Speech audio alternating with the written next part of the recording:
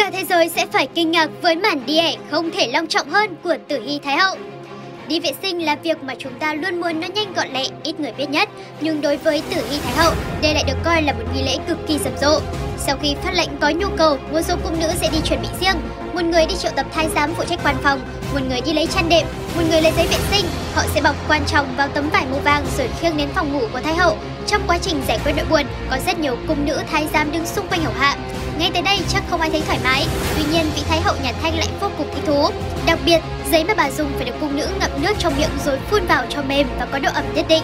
Sau khi phụng sự Thái Hậu xong, cung nữ sẽ khiêng quan phòng ra khỏi tập điện. Thái giám phụ trách sẽ dùng vải quấn lại, đưa đi. Người ta tiến hành loại bỏ chất bẩn lau chùi quan sạch sẽ, phủ gỗ đàn hương lên để Thái Hậu dùng cho lần sau.